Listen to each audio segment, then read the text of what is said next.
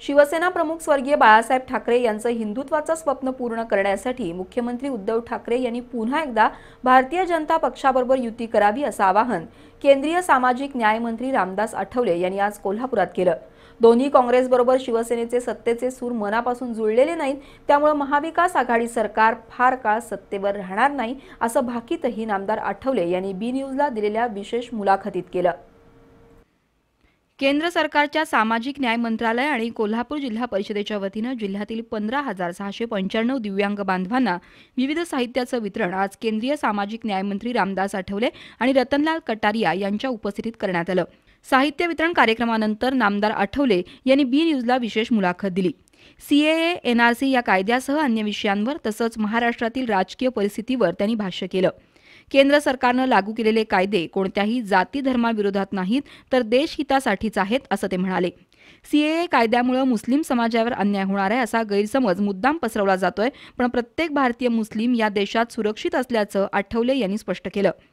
हा जो कायदा आहे हा मुसलमानांच्या विरोधात नाही. जर एका- एखाद्या मुसलमानाला काही अडचण आली तर मी मुसलमानांच्या बाजूनं खंबीरपणे उभा राहिल्याशिवाय राहणार नाही. त्यामुळं हा कायदा त्यांच्या विरोधामध्ये नाही.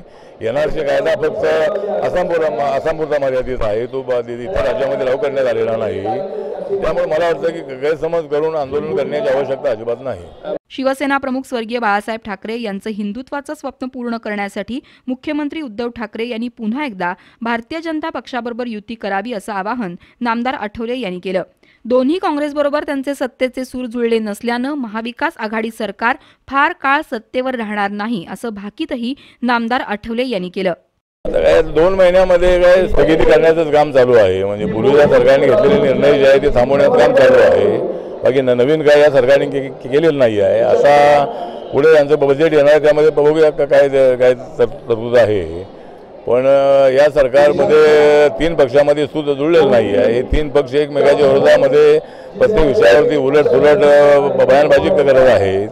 त्यामुळे या सरकारचं जे आयुष्य आहे किंवा भविष्य आहे ते काय फार लांब असेल असं मला वाटत नाही आहे त्यामुळं सरकार म्हणतात की आमचं दहा पंधरा वर्ष टिकेल पण उद्धव ठाकरेंना माझं आव्हान आहे निवेदन आहे की आपण काँग्रेस राष्ट्रवादीला सोडा आणि आपण बी जे पी आणि आर पी सोबत या. बाळासाहेब ठाकरेंचं स्वप्न साकार करायचं असेल तर काँग्रेस राष्ट्रवादीसोबत जाऊन ते साकार होणार नाही. केंद्रीय सामाजिक न्याय मंत्रालय देशातील दिव्यांगांच्या उन्नतीसाठी कटिबद्ध आहे अशी ग्वाही नामदार आठवले यांनी दिली.